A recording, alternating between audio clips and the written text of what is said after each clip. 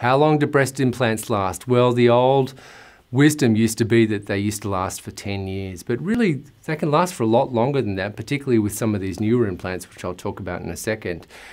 A lot can happen within 10 years. So you may have your implants before kids, decide to have a couple of kids, and then the relationship between the implant and your breast changes.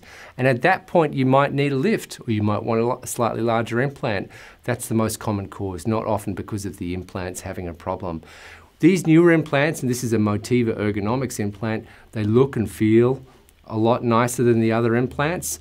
They also um, have a much lower rate of capsular contracture as well as um, problems with uh, implant rupture. They even have little radio frequency chips on the inside here so we can always sort of scan your breast and find out exactly the type of implant that you've got. So all in all, fantastic new implants. If you've had implants there for a long time, maybe the relationship between your implant and the breast has changed, or maybe you just want a different sort of an implant, a bigger or a smaller one, don't hesitate to reach out. I'm more than happy to answer any of your questions.